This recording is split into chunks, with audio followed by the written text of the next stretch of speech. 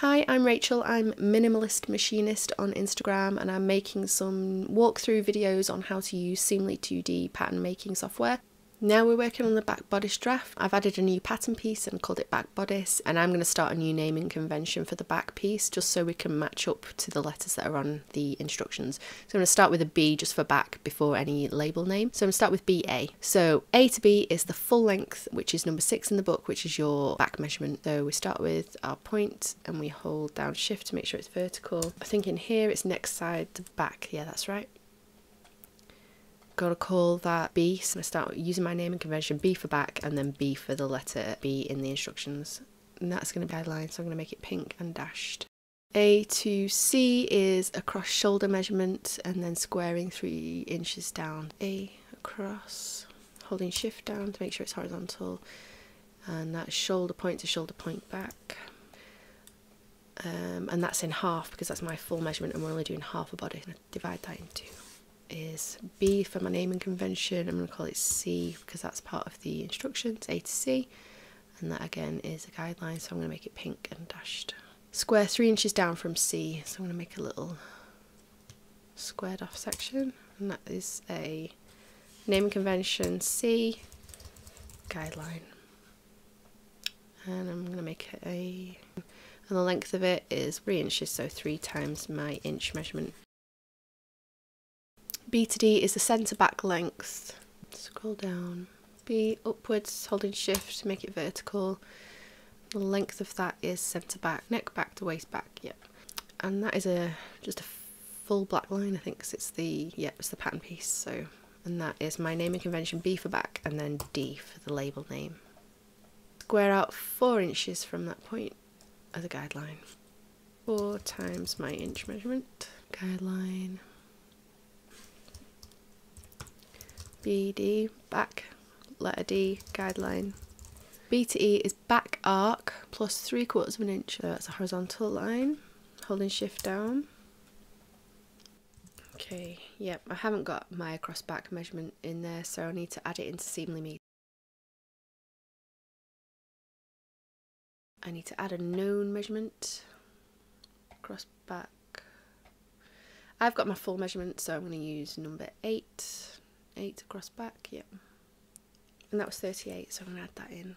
Save that. Now this is going to update my file that it's linked to, and I want to sync the measurements, yep. So I'm going to go back to make that across back measurement. Holding shift down to make sure it's horizontal. That should be in here now. Across back. Now that is my full measurement, so I only want half. Plus three quarters of an inch. I'm going to do three times a quarter of inch and just close it in brackets. It's a guideline it E. Oh, it's a naming convention B for back. So we're on to the next set of instructions. Okay, so A to F is back neck plus eighth of an inch. I don't have my neck measurement in there, I don't think, so I'm gonna have to add it. 26, that's one I've got. I think it's 19. Next circular, minus neck arc front. I don't have neck arc front. So don't have my circular neck in. Instead of using a formula for that, I'm just going to write my amount in, which is 19. Yes, I do want to update the measurements. BA to BF, basically. Naming convention F, pink. Okay. Divided by 2, because it's only a quarter of that um, amount in the book, plus an eighth of an inch. And then B to G is shoulder slope plus 1 8th of an inch. It needs to hit that C guideline. And again, we don't know what the angle is. It's the same as when we did the front pattern piece. We don't know what that angle is going to be, so we just need to do an arc. Uh, that's the length of the shoulder slope. I need my shoulder plus 1 8th of an inch. The first angle is 0 to 90. It's a guideline, so I'm going to make it dashed and pink. And that point is where they're intersecting. I'm going to use curved line tool which is the point where an axis and the curve meets. It tells us to select the curve first and then use the axis. Creates a point only along that curve and then you need to hold shift down to make sure that it's the point where they both intersect. So that's going to be our point BG and then we need to do a line from B to G F to H is the shoulder length plus half an inch. So we need to do a line from F to G as a way to make sure the angle is correct. And that's a guideline. the F uses that line to follow along to extend to H. We need our normal point tool and it doesn't matter where we click because we're going to use maths to make sure it matches up. Shoulder length plus half an inch.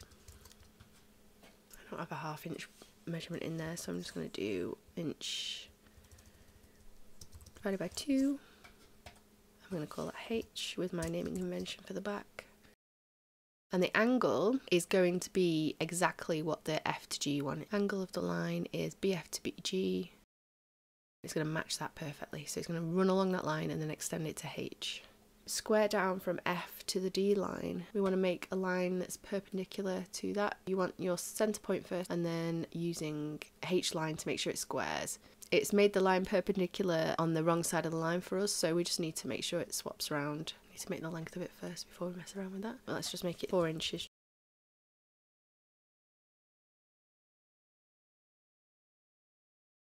Um, we can make that shorter and call that the F guideline pink. And those are intersecting now. B to I is dart placement. It's horizontal, so I'm holding shift down. I with my naming convention. B to J is waist arc plus dart intake of one and a half inch and a quarter of inches. So B to J is waist arc, so horizontal line, held shift down in half because that was my full waist plus the dart intake of one and a half inch plus three quarters of an inch so it makes my one and three quarters.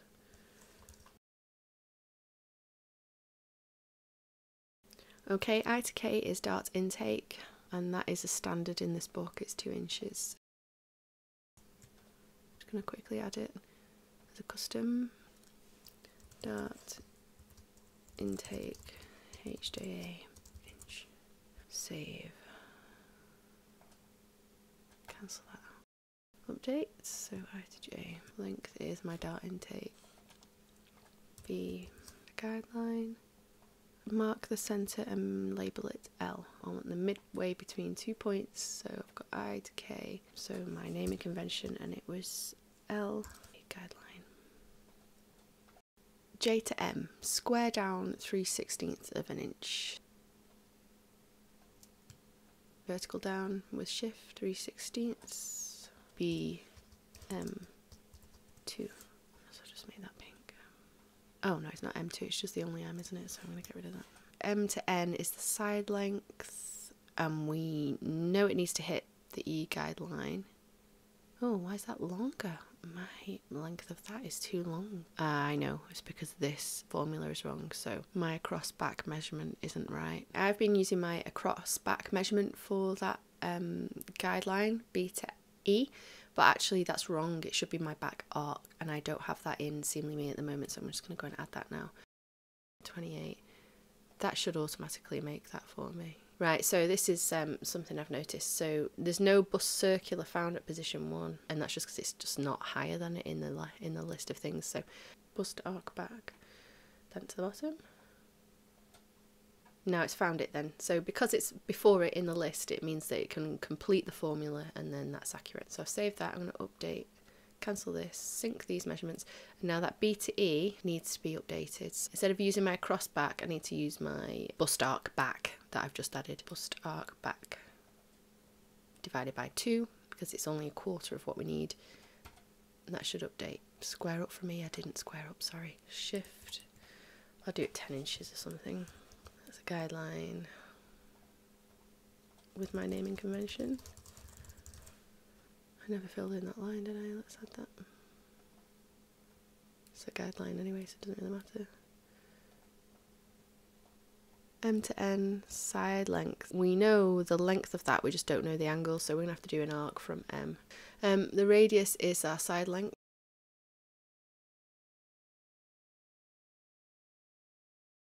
Mm, it's very, very shallow. I think I've done something wrong there, but the I'll have to double check that. But it it doesn't matter. The tools will still work exactly the same. And we want to make a point that intersects those two. So we need to use our curve tool, uh, axis and curve. So you need to choose your curve first. It says down here.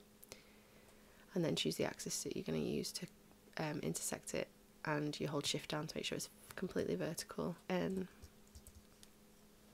make it pink just so I'm not confused. Come right, draw a line in there now I think. M to N. L to O, square it from L, one inch less than M to N. So we can do that, that's just a vertical line. M to N, but minus an inch, so we know what the length of that is because we can use the length of the line. BM to BN, and we want to minus an inch off it like it says. Okay, and that ends up being O with our naming convention. Use that as a guideline draw dart legs from O to 1 8th of an inch past I and K. We want to do the lines from O to K and O to I so that we can then use them as lines that we can match the angles of. So I'm going to make these guidelines first. And remember you need to have done these lines first before you then try and use them. O to K. The length of the line to be the same as O to K, but plus an eighth of an inch. And that is K2, I'm going to call it. And the angle needs to be the same angle of the line O to K. So we need to do the same thing again on this side. And we need it to match the length of the line, uh, BO to BI,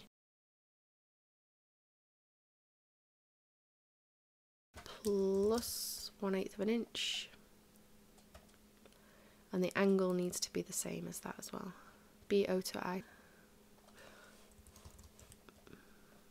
That's our dart draw slightly curved lines from K to M and B to I. We just need a curved line with two points. BK2 because that's the one that extends longer to M. Slightly curved. Um, and then B to I F to P is one half of F to H. I can use this tool, which finds us the halfway point. Current length divided by 2, and that is going to be P with our naming convention. And that is a guideline. So I'm going to make it a dashed line. P to Q, which is draw a 3 inch line in the direction of point O. So P to O, which is going to be a guideline we're going to use that to find out the angle of the one that we need to follow. We need to do a new point from P. The length of it was 3 inch, 3 times an inch. And the angle is of the line that we've already got. Okay, and that should follow that line accurately now. And we're going to call that P guideline. And that's going to be a guideline as well um, P to R is a quarter inch a mark. It's along the F to H line. You can do a point along a distance along the line. Second point P to F, yeah. So you choose your first point P and your second point F, and we wanted it quarter inch, didn't we? We use our formula. I'm gonna call it R with our naming convention. I'm gonna make sure it's a guideline. Draw a dart leg from Q, an eighth of an inch past R, and connect to F. Okay, I'm just working on this dart here and I've just noticed that I think this measurement is wrong. I think I've used the wrong measurement for A to C because it seems to be too short. I think I've used, yeah, I've used shoulder tip to shoulder tip back instead of a cross back measurement. Yeah, so I've used, I've used from here to here instead of here to here, so I'm just going to change that. Yeah, that's right. So that's made it a bit longer now. That's right. What's cool about that is that everything else, all the points that we're intersecting and things like that, all adjust accordingly draw a dart leg from Q, called it a guideline, haven't I? So I want to call that Q. Um, draw a dart leg from Q, one eighth of an inch past R. What we need to do is draw a line first from Q to R and then um, use it as a guideline for the angle and then do one one eighth inch longer than that. Q is our starting point. This can click off anywhere.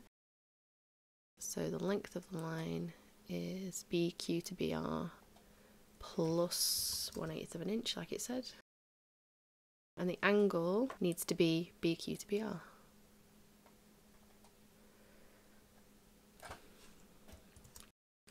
Um, what are they calling that? R, oh, call it R2. And then they want us to connect that to F. So we already have our two points, so we can just use a normal line for that. We need to do a quarter of an inch this way. So we need to do a segment along the line and this is from P to H and we need it a quarter of an inch long guideline R3 then and we want to draw a line between those two that we're going to match the angle of and then go eighth of an inch past it like we just did. We need our point tool, the starting point is Q, we can click off this wherever. Now the length of the line it's saying to match Q to R, so that's what we're going to do, the length of the line. Okay, and the angle needs to be BQ to BR3 and we're going to call this BR4 I suppose. And this is a normal black line. Yep, so it's gone up a bit further than that. And then we're going to connect that to H, so we have our two points, so we can just use a line. That's why I do my lines different colours, so you can see it slightly easier. When these are in cornflower blue, which is my favourite, um, it's even lighter, so you really can't notice them all. D to S is one fourth of D to B. We can get this P to D. So we want to divide that by 4, and that's going to be our naming convention S. It's a guideline. S to T is across the back plus a quarter of an inch, so it's perpendicular. So this is our centre point, this is our point that we're going to use as the straight line, and the length of it is going to be across back. Um, that's my full across back measurement, so I'm going to divide that by 2 because we're doing a folded bodice, plus a quarter of an inch. And that's going to T. That's a guideline, so I'm going to make it pink. Square up and down from T as shown. So I'm going to do an inch up and a few inches down. So that's just shift holding that. Just need to it an inch. Um, it's a guideline. P, T, guideline 1. Um, we need to square it down as well. 4 times an inch there. B, T, guideline 2, and that's a guideline as well. On the last section, draw an armhole with a French curve touching H, T and N. The curve should touch the square line. So you need a curve, multiple points, H, T, N. Now we don't have a French curve so you're to have to eyeball it a little bit, press enter to finish. Uh, as I said, you can mess around with that curve a little bit. I think we've just got the last curve to do at the top. Neckline, draw 3 eighths of an inch angle line from the corner, bisector, first line. Oh, we haven't got an intersecting line, so that's a cool one to do. Angled line first, so we'll do that one, that one, and then this one, and then we can hold shift to make sure it's perfectly horizontal. So we'll do you. That's the guideline.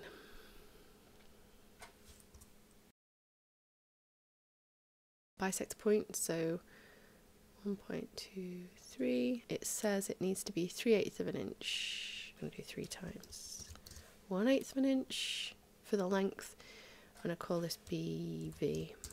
And that's a guideline. Okay, now we can draw our line. So now it's a multiple point line